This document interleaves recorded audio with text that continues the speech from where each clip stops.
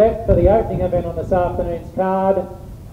Sparman, the favourite, drawn centre field, light on.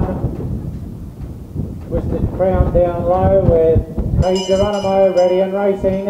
As you say, beat them out clearly, landed two in front, goes to the lead. Top Knot moves to second with Hey Geronimo around the outside from Falvira.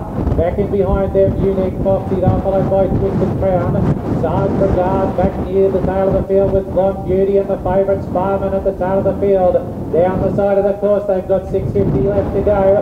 As you say, held together in front, leads clearly by three. Valvira is second, then would have been Hey Geronimo. They're followed back in behind them by Top Knot, then would have been Twisted Crown. Well back out of his ground, Sparman with Sarge Brigade as they come towards the corner. As you say, the runner to gun down leads two in front. Valvera second, looks the only danger as they flatten for the run home. 200 metres left to go. The leader clear. It's as you say, nicely clear.